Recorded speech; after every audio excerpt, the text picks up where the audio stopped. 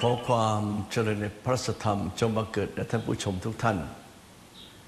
ได้กล่าวถึงการดำรงชีวิต เพราะเห็นชีวิตเยอะๆ แล้วไม่ใช่มองชีวิตเขาชีวิตที่เรามองเขามันกระจกสะท้อนถึงตัวเรา เอาชีวิตที่เรามองอยู่บนโลกใบนี้มาเป็นกระจกที่สะท้อนตัวเรา ตรงกับที่พระพุทธเจ้าพระองค์ตรัส ว่าชีวิตังพยาธิกาโลจะเทหะนิกเขปะนัง คะติ ปัญเจเตชีวะโลกัสมิง อะนิมิตตานะนายะเรสามสิบสองคำ จะเป็นการดำเนินชีวิตแบบนักปราชญ์คือไม่ประมาทในการดำเนินชีวิต ว่าชีวิตยาวหรือสั้นใครนั่นรู้ มัจจุราชทุกผู้โรคาพาธทุกผู้ไม่รู้ได้ อีกเวลาที่ชีวิตปลิดจากกายสถานที่ตายไม่รู้ทุกผู้แล ยังไม่ตายยังไม่รู้ที่อยู่ไหมอย่าประมาทเชื่อท่าน ไอ้โลกหน้าไม่มีเราก็ก็ประมาทได้ ถ้าโลกหน้าไม่มีแล้วแล้วคุณมาจากไหนล่ะ แล้วสัตว์เดรัจฉานมาจากไหน แล้วผู้คนมันมาจากไหน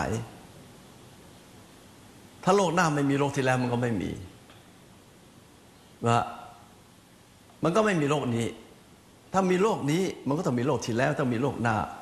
มันเป็นเหตุเป็นผลของกันและกันไอ้พูดอย่างนั้นนะพูดได้ พูดได้ ผมเป็นคนไม่มีศาสนาก็ไม่เป็นไรไม่มีศาสนาก็ไม่เป็นไรเนี่ยก็อยู่แบบคนไม่มีศาสนาไป ไม่มีคำสอนไปคำว่าไม่มีศาสนาคือ ไม่เชื่อคำสอนของศาสดาศาสนาไหนเลย แล้วคุณเป็นคนแบบไหนล่ะขณะเราเป็นคนดีๆนะยังต้องไม่ประมาทในชีวิตเลย เพราะโลกหน้ามี พุทธเจ้า สมเด็จพระชินสีพระสมมาสุจาจึงตรัสว่า จิตตังทันตังสุขาวหังจิตที่ฝึกดีแล้ว อยู่ก็สบายตายไปก็ไปสู่ภพภูมิเป็นสุขติ